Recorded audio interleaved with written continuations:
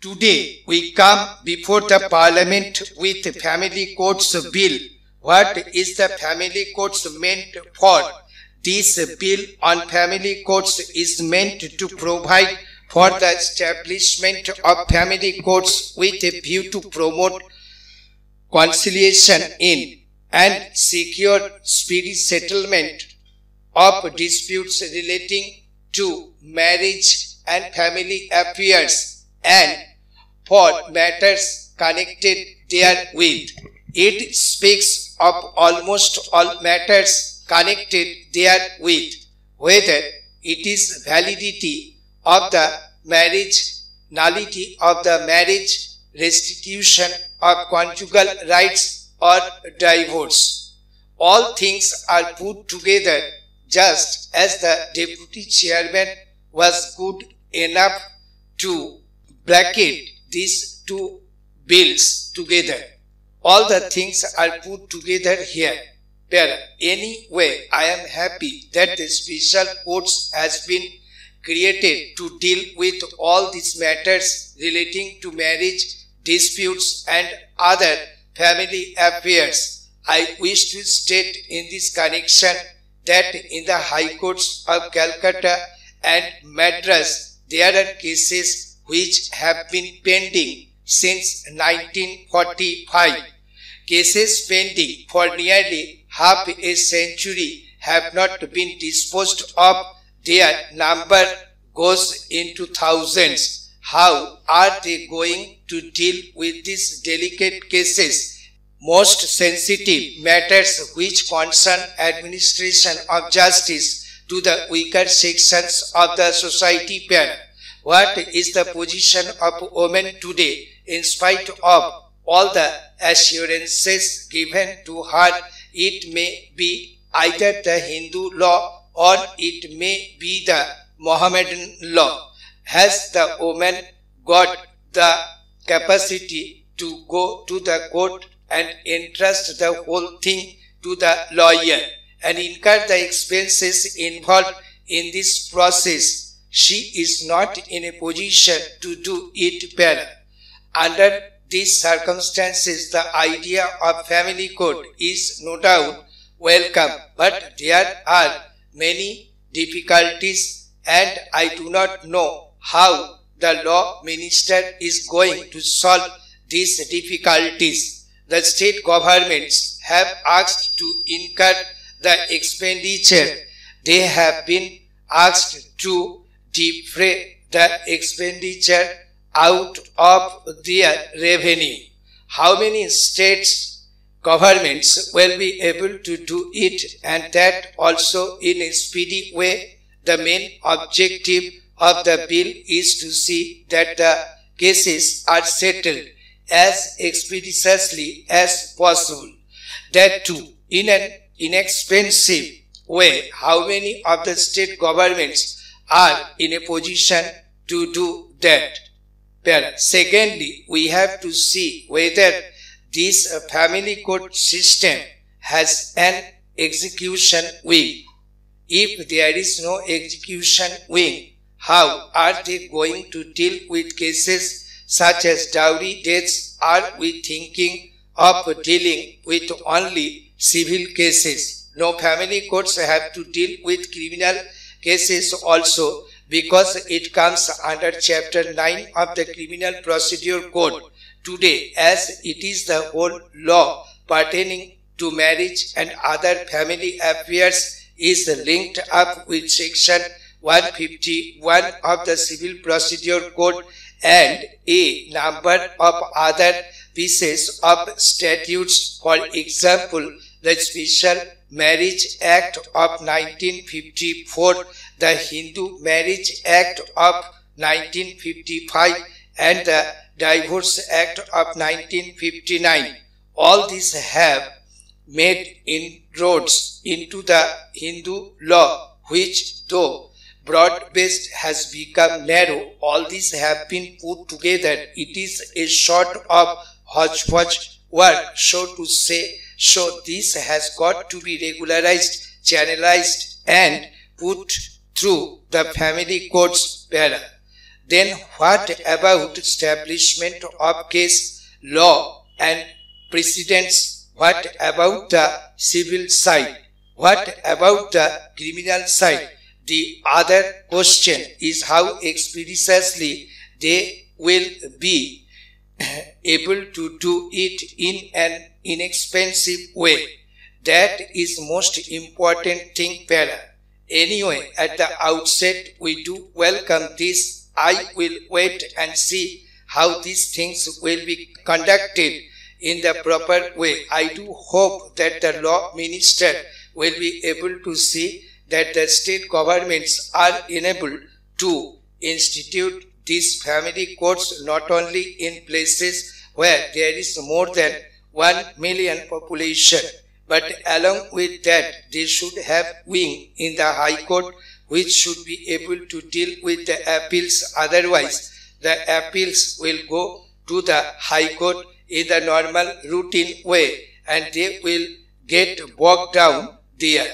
As the Law Commission in its 59th report said, those things which are meant to be dealt with in a conciliatory way, in a human way, are being dealt with in an adverse way. It is very necessary to see that we do commit mistakes again and that proper justice is being rendered to the weaker section of the society. In spite of all the assurance, the woman has today been reduced to a short on non-entity. Mr. Vice Chairman, I do not like to dwell on this aspect at great length. The woman would not possess even a piece of property. What is her position today after the judicial separation? And said the Hindu Marriage Act was being amended. The idea came from Parliament that after a period of two years of judicial separation, it should be taken as if it is an automatic divorce. Stop Paraji. Today we come before the parliament with the family courts bill. What is the family courts meant for? This bill on family courts is meant to provide for the establishment of family courts with a view to promote conciliation in and secure speedy settlement of disputes relating to marriage and family affairs and for matters connected therewith. It speaks of almost all matters connected therewith, whether it is the validity of the marriage, nullity of the marriage, restitution of conjugal rights or divorce all things are put together just as the deputy chairman was good enough to bracket these two bills together. All the things are put together here.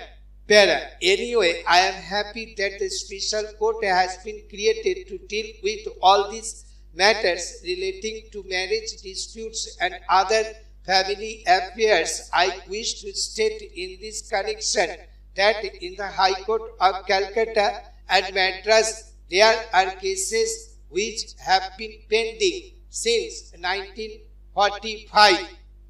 Their number goes to thousands. How are they going to deal with these delicate cases and most sensitive matters which concern administration of justice to the weaker sections of their society? What is the position of woman today in spite of all the assurances given to her?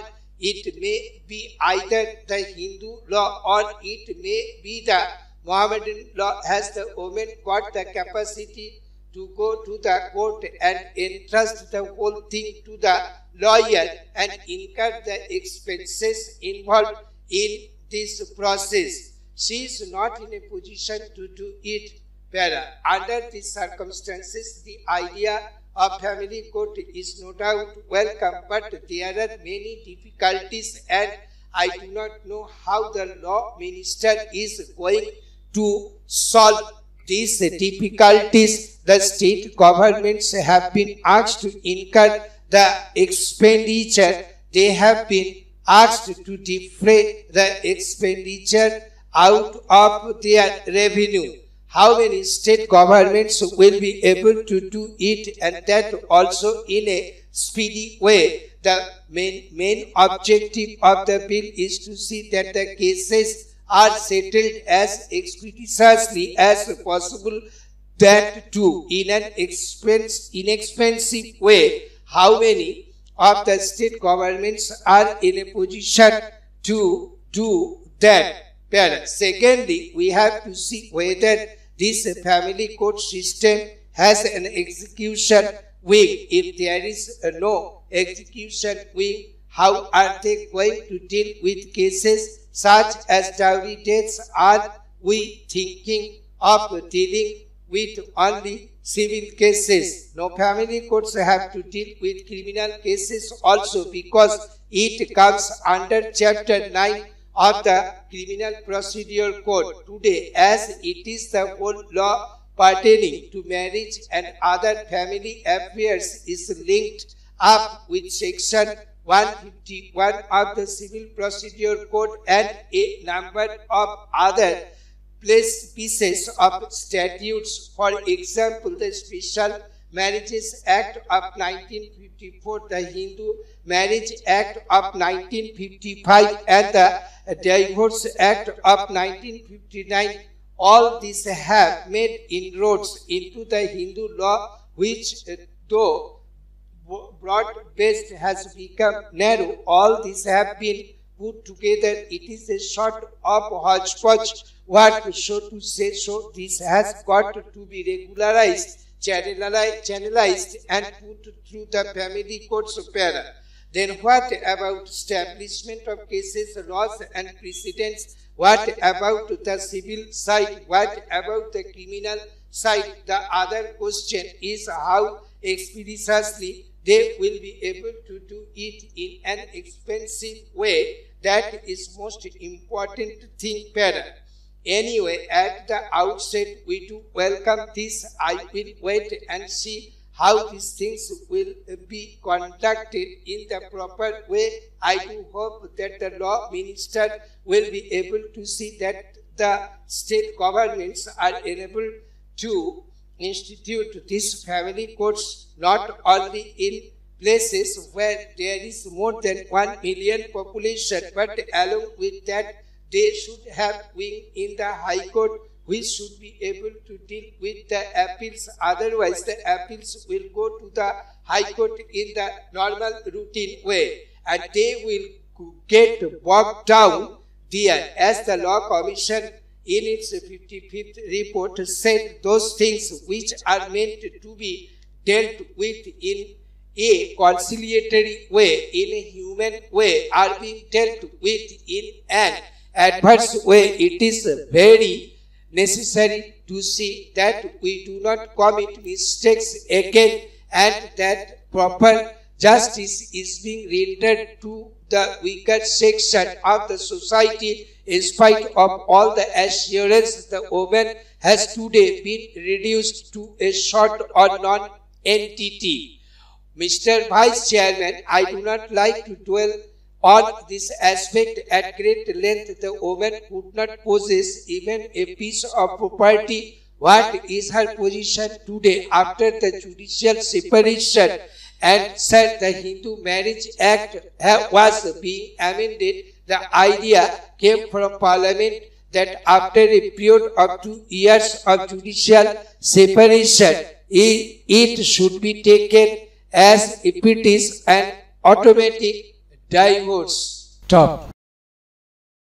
Today, we come before the parliament with the family courts bill. What is the family courts made for uh, this bill on family courts is meant to provide for the establishment of family courts with a view to promote conciliation in and secure speedy settlement of disputes relating to marriage and family affairs and for matters connected therewith. It speaks of almost all matters connected therewith, whether it is validity of the marriage constitutionality of the marriage restitution of conjugal rights or divorce all things are put together just as the deputy chairman was good enough to bracket these two bills together. All the things are put together here, Para.